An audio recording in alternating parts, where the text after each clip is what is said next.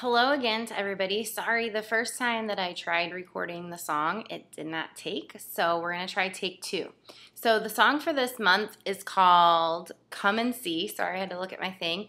And it's really, really a basic song, and it's just all about God's creation. So I'm going to show you just the basic chorus, and then I'll do the song with the music, and I'll post the YouTube link so that you guys can listen to the song.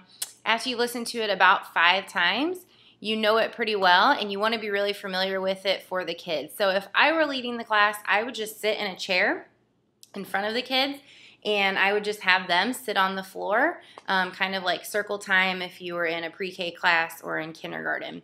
Um, I am going to have a lyric video up on the TV the kids won't need to see it because it will just be words and they can't read. It's more for you. So you might just want to be able to see the TV and have the kids really not facing the TV and have the kids facing you.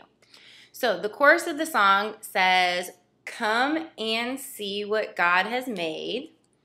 Come and see what God has made. In seven days, seven days, God made the world. So I've tried it with Trip. He gets it pretty good. He loves the song. We listen to it over and over and over again. So um, in the verses, it talks about five things that God made. God made the sun, and you'll have this prop in the class, but you can also just have the kids do sun, and they can do this with you. Then God made the wind. So if you like, you have a fan to make wind, or you can have the kids say, and do wind. Third, God made vegetables. So you'll have your vegetable prop and you can pick it and take a bite. The kids can pick with you and take a bite. Fourth, God made eagles. So you've got your eagle puppet to soar with, and the kids can just soar their arms like eagles. And then fifth, God made people. So you have your people puppet, and the kids can just say people like that. So I'll play the song, and I'm probably going to sing along because I just can't help it. So I apologize. Here we go. All aboard! And the kids are just gonna pat their knees on the in-between part. Won't you come and see what God has made? Won't you come and see what God has made? It's seven days, seven days, God made the world. And they can pat.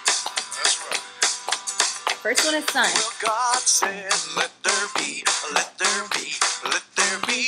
God said, let there be sunshine. And there was sunshine. Next is wind. Well, God said, let there be, let there be, let there be. God said, let there be wind. And there was wind. Rain clouds. Back to the chorus. Won't you come see what God has made? Won't you come and see what God has made? Seven days, seven days, God made the world. Next is vegetables. Well, God said, let there be, let there be, let there be.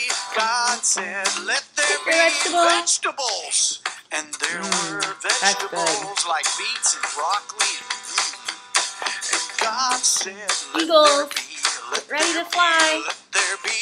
God said, let there be eagles. And there were eagles soaring way up high. Here we go with the chorus. Won't you come and see what God has made? Won't you come and see what God has made? Seven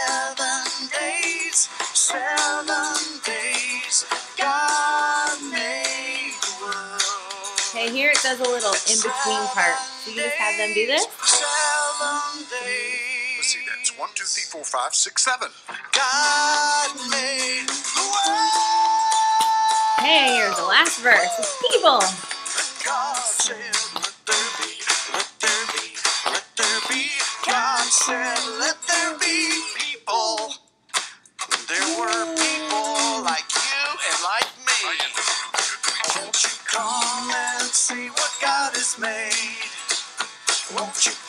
come and see what God has made? In seven days. Seven days God made the world.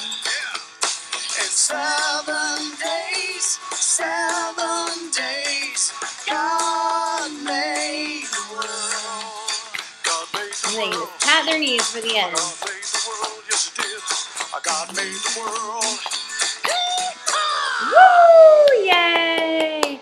So that is the song for all of June. It would be awesome if all of you knew it and you could encourage the kids to sing along. All of the leaders in the classroom, you could sit down next to the kids, help them learn to pat their legs. And like I said, Trip loves it. Ashley tried it out on Gus. Gus loves it. So I know the kids in the Kids Crossing classroom will love it too. Thanks for watching, guys. Have a good Memorial Day.